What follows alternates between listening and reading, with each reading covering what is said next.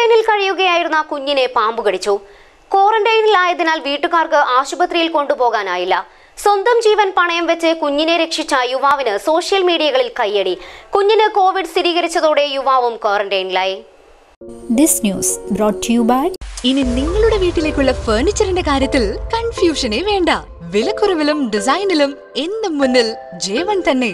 Jeevan Kerala's largest designer furniture showroom Anangoor Kasaragod.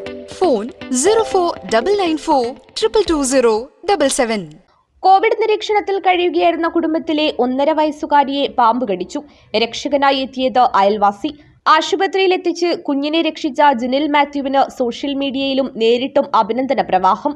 നിരീക്ഷണത്തിൽ കഴിയുകയായിരുന്ന കുട്ടിയെ ആശുപത്രിയിൽ എത്തിച്ചതിനാൽ ജിനിൽ സ്വയം നിരീക്ഷണത്തിൽ പോവുകയും ചെയ്തു. പാണത്തൂർ വട്ടക്കയത്തെ ഒരു വീട്ടിലാണ് സംഭവം നടന്നത്.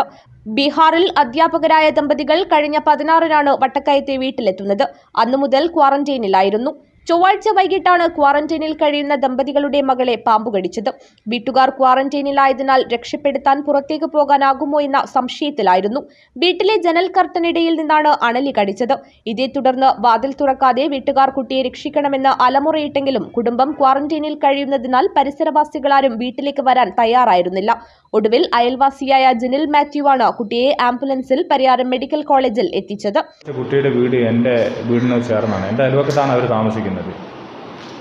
നിലവിളി കേട്ടുകൊണ്ടാണ് ഞാൻ അവിടത്തേക്ക് ഓടി ഇറങ്ങി ചെല്ലുന്നത്. ഒരുപാട് പേര് ആ വീട്ടിലേക്ക് വന്നിരുന്നെങ്കിൽ ആരും പോകാൻ ധൈര്യപ്പെട്ടില്ല.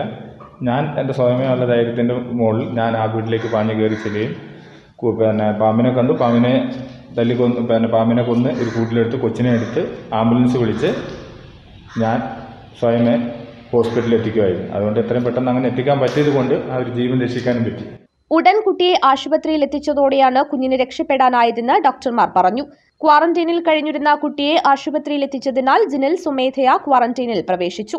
Headload and general workers union Panathur unit convener കൂടിയാണ് ജിനൽ മാത്യു. സ്വന്തം ജീവൻ പോലും പണയം വെച്ച് കുഞ്ഞിനെ രക്ഷിക്കാൻ തയ്യാറായ ധീരതയെ നാട്ടുകാർ അഭിനന്ദിച്ചു.